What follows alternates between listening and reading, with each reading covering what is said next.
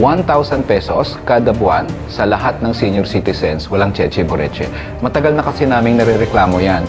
Bakit may mga requirements na kailangan frail and sick ang senior citizen? Kailangan ko, uugod-ugod ka na para mabigyan ka nito, kakarampot na nga lang 500 pesos.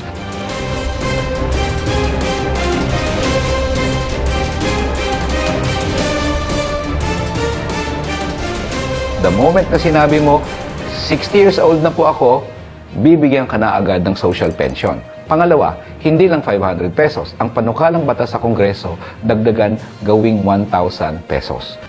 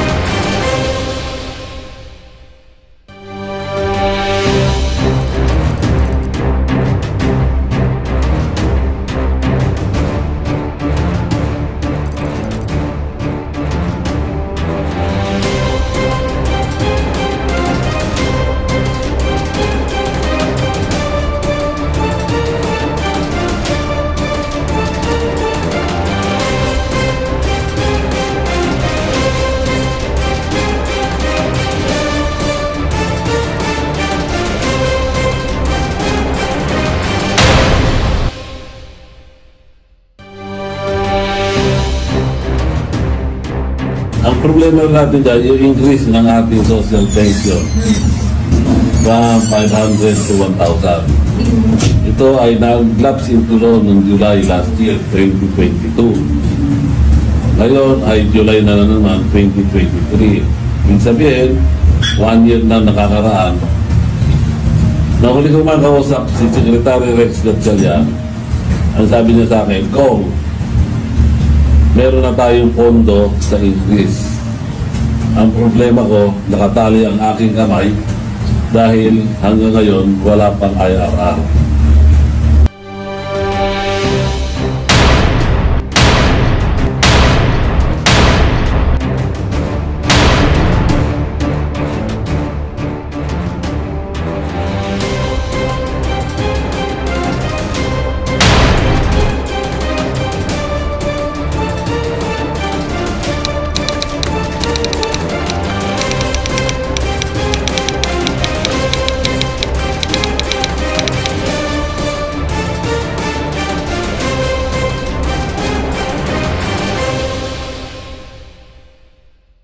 Unang-una ko po na ipinal sa Kongreso ay yung Universal Social Pension. Opo. Na-approve, na po ito sa sa Committee on uh, Senior Citizens. Ngayon po, nasa Committee na po ng Appropriation para hanapan po ng pondo.